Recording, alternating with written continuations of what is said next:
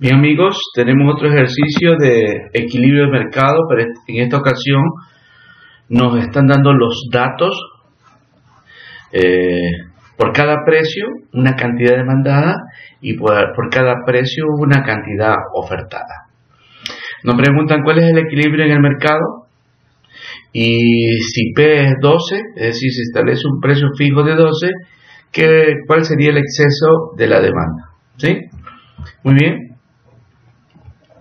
Partimos de nuestros datos y procedemos a encontrar la, respuesta gráficamente.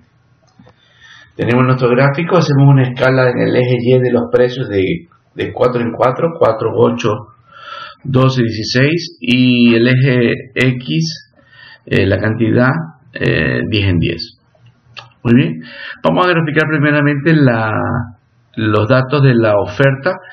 Cuando el precio es 4, la cantidad ofertada es 10. Cuando el precio es 8, la cantidad ofertada es 30, ¿no? Se cumple la ley de la oferta cuando el precio aumenta, la cantidad ofertada aumenta.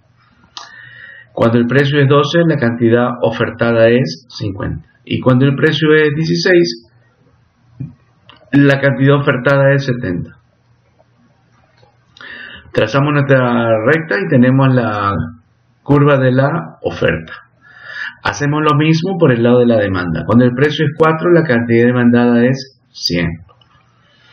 Cuando el precio es 8, la cantidad demandada es 90.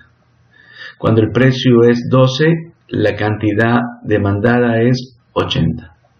Y finalmente, cuando el precio es 16, la cantidad demandada es 70. Trazamos nuestra curva de demanda y vemos que cuando el precio es 16, eh, la cantidad es 70 es el equilibrio en el mercado. ¿sí? Significa que a un precio de 16 los productores, los ofertantes están dispuestos a ofertar 70 unidades. Y a un precio de 16 los consumidores están dispuestos a comprar o a demandar 70 unidades. Llegando así a un equilibrio en el mercado de este producto. ¿Qué pasa si se establece un precio fijo de 2? Si establecemos un precio fijo de 12, va a suceder por el lado del consumidor que antes eh, se le bajó el precio de 16 a 12, que antes consumía 70, va a querer consumir 80, incrementando la cantidad que los consumidores estarían dispuestos a comprar, cumpliéndose la ley de la demanda, que cuando el precio baja, la cantidad consumida se incrementa. Y por el lado de la oferta, cuando el precio es 12, la cantidad ofertada es 50, cumpliéndose lo que dice la ley de la oferta, cuando el precio baja, la cantidad también disminuye. ¿no?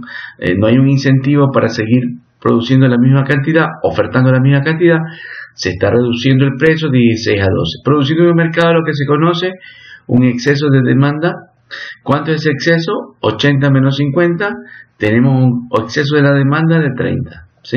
Así hemos resuelto, resuelto este, este caso, este ejercicio, el equilibrio es a, un precio de 16 y la cantidad ofertada y la cantidad demandada de 70. Si, si se, ejecuta a un precio fijo, habrá un excedente de demanda de 30.